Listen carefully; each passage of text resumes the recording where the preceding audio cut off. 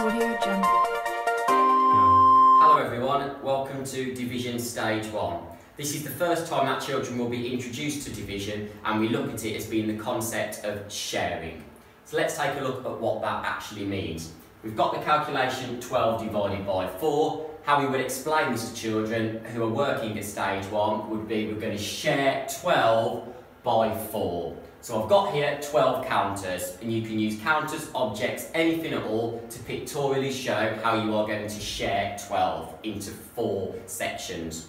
So let me count them out. I've got one in that section, two, three, four, then I've got five, six, seven, eight, nine, ten, eleven, and 12. So I have shared 12 between 4 and I can see that in each section I have got three counters which means that 12 shared by 4 will give us the answer 3 and that is division stage 1.